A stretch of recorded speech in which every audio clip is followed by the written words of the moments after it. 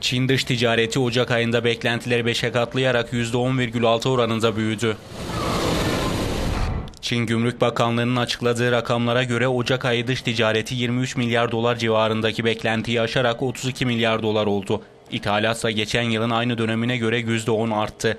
İthalat rakamı Temmuz ayından sonraki en yüksek düzeye ulaştı. Çin daha çok çelik, bakır ve petrol ürünleri ithal etti.